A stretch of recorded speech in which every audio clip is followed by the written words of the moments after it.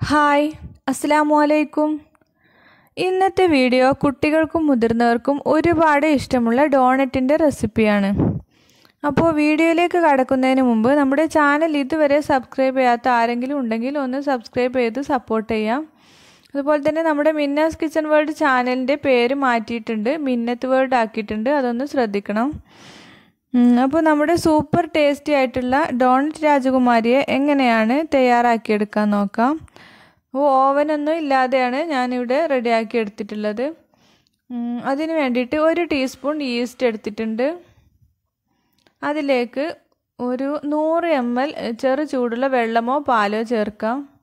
ഞാനിവിടെ വെള്ളമാണ് എടുത്തിട്ടുള്ളത്. ഇനി അതിലേക്ക് ഒരു ടേബിൾ സ്പൂൺ പഞ്ചസാര കൂടി ചേർത്ത് നല്ലതുപോലെ മിക്സ് ചെയ്തിട്ട് മാറ്റി വെക്കാം ഈസ്റ്റ് പെട്ടെന്ന് ഫോം ചെയ്ത് വരാൻ വേണ്ടിയിട്ടാണ് പഞ്ചസാരയും ചെറു ചൂടുള്ള പാല വെള്ളമൊക്കെ ചേർക്കുന്നത്. ഇനി അതൊരു പത്ത് മിനിറ്റ് കഴിഞ്ഞതിന് ശേഷം നോക്കാം. അപ്പോൾ ഈസ്റ്റൊക്കെ നല്ലതുപോലെ പൊങ്ങി വന്നിട്ടുണ്ട്. അപ്പോൾ ഞാൻ അതിന്റെ പാത്രമൊക്കെ മാറ്റിയിട്ടുണ്ട്. ഇനി നമുക്ക് ഡോ തയ്യാറാക്കിയെടുക്കാം. അതിന് വേണ്ടിയിട്ട് രണ്ടര കപ്പ് മൈദ എടുത്തിട്ടുണ്ട്. ഇരുന്നൂറ്റി എൺപത് എം എല്ലിന്റെ മെഷറിംഗ് കപ്പിൽ രണ്ടര കപ്പ് മൈദയാണ് എടുത്തിട്ടുള്ളത്. അതിലേക്ക് രണ്ട് ടേബിൾ സ്പൂൺ പഞ്ചസാര ചേർത്തിട്ടുണ്ട്. അതുപോലെ തന്നെ അര ടീസ്പൂൺ ഉപ്പ്. രണ്ട് ടേബിൾ സ്പൂൺ ബട്ടർ കൂടി ചേർക്കുന്നുണ്ട്. ബട്ടർ റൂം ടെമ്പറേച്ചറിൽ ആവാൻ ശ്രദ്ധിക്കുക. പിന്നെ അതിലേക്ക് ഒരു കോഴിമുട്ട കൂടി ചേർത്ത് നല്ലതുപോലെ മിക്സ് ചെയ്തതിന് ശേഷം നമ്മുടെ പൊങ്ങി വന്ന ആ ഒരു ഈസ്റ്റിന്റെ വെള്ളം ചേർത്ത് നല്ലതുപോലെ കുഴച്ചെടുക്കാം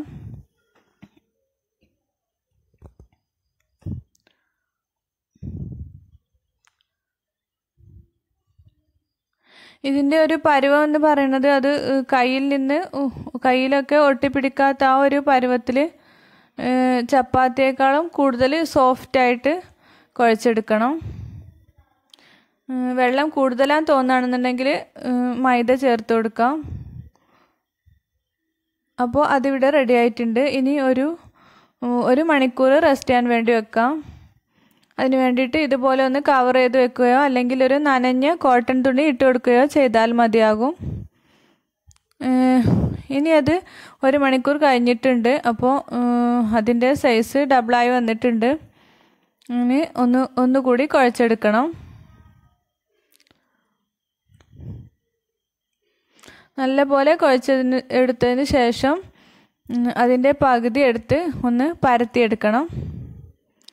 പരത്തിയെടുക്കാൻ വേണ്ടിയിട്ട് കുറച്ച് പൊടി ഇട്ട് കൊടുത്തിട്ട് ഒന്ന് നല്ലതുപോലെ പരത്തിയെടുക്കാം. അവിടെ ഒട്ടിപ്പിടിക്കാതിരിക്കാൻ വേണ്ടിയിട്ടാണ് മൈദപ്പൊടി ഇട്ട് കൊടുത്തിട്ടുള്ളത്. കൂടുതൽ കട്ടി ആവശ്യമുള്ളവർക്ക് കട്ടിയിൽ പരത്തിയെടുക്കാം. ഞാനിവിടെ കുറച്ച് കട്ടി കുറച്ചാണ് പരത്തിയെടുത്തിട്ടുള്ളത്. ഇനി ഇത് ഒരു ഗ്ലാസ് വെച്ചിട്ടും അതുപോലെ തന്നെ ഒരു ബോട്ടിലിന്റെ ടോപ്പൊക്കെ ഉപയോഗിച്ചിട്ടാണ് കട്ട് ചെയ്തെടുക്കുന്നത്. ഡോണറ്റ് കട്ടർ ഉള്ളവർക്ക് അത് യൂസ് ചെയ്യാം. ഈ ഒരു ഷേപ്പിലാണ് കട്ട് ചെയ്തെടുത്തിട്ടുള്ളത്. കട്ട് ചെയ്ത് വെച്ച ഡോണറ്റ് ഒരു സ്ഥലത്ത് വെച്ച് അത് കുറച്ച് പൊടി ഇട്ട ശേഷം അവിടെ അവിടേക്ക് മാറ്റാം. ഒട്ടിപ്പിടിക്കാതിരിക്കാൻ വേണ്ടിയിട്ടാണ്. അതുപോലെ തന്നെ ബാക്കിയുള്ള ഡോ കൂടി പരത്തിയെടുക്കാം. ഇഷ്ടമുള്ള ഏത് ഷേപ്പിൽ വേണമെങ്കിലും കട്ട് ചെയ്തെടുക്കാവുന്നതാണ്.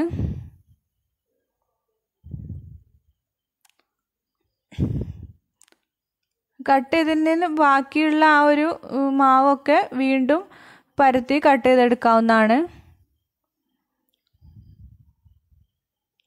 അപ്പോൾ അതെല്ലാം ഇവിടെ റെഡി ആയിട്ടുണ്ട്. വേണമെങ്കിൽ കുറച്ച് നേരം റെസ്റ്റ് ചെയ്തതിന് ശേഷം ഫ്രൈ ചെയ്തെടുത്താൽ മതിയാകും.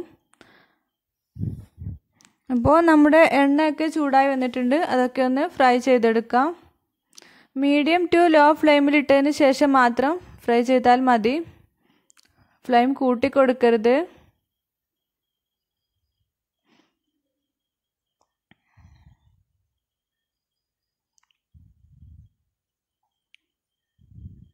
ഈ ഒരു നിറമാണ് ഇതിന് വേണ്ടത്.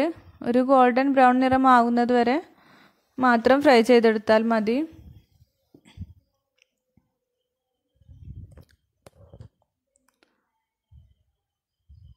അപ്പോൾ നമ്മുടെ ഡോണറ്റ് എല്ലാം ഞാനിവിടെ ഫ്രൈ ചെയ്തെടുത്തിട്ടുണ്ട്. ഇനി അതിലേക്കുള്ള ചോക്ലേറ്റ് തയ്യാറാക്കിയെടുക്കാം.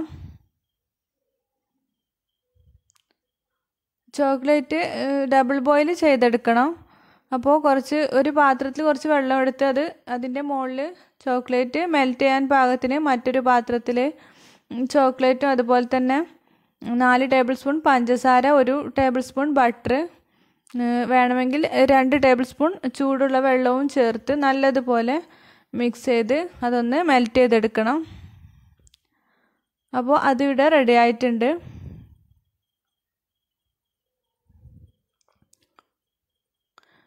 ചോക്ലേറ്റ് തന്നെ എടുക്കുന്ന നിർബന്ധമൊന്നുമില്ല. വേണമെങ്കിൽ പഞ്ചസാര പൊടിച്ചതിൽ കോട്ട് ചെയ്തെടുത്താലും മതി. അല്ലെങ്കിൽ പഞ്ചസാര വെള്ളം ചേർത്ത് മെൽറ്റ് ചെയ്തതിന് ശേഷം അത് അതിന്റെ മുകളിൽ ഒഴിച്ചു കൊടുത്താലും മതി.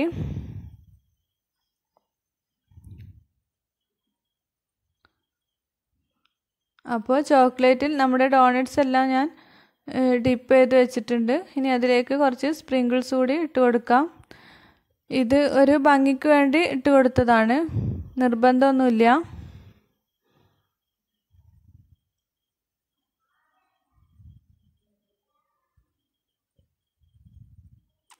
അപ്പോൾ നമ്മുടെ ടേസ്റ്റി ആയിട്ടുള്ള ഡോണറ്റ്സ് എല്ലാം ഇവിടെ റെഡി ആയിട്ടുണ്ട്.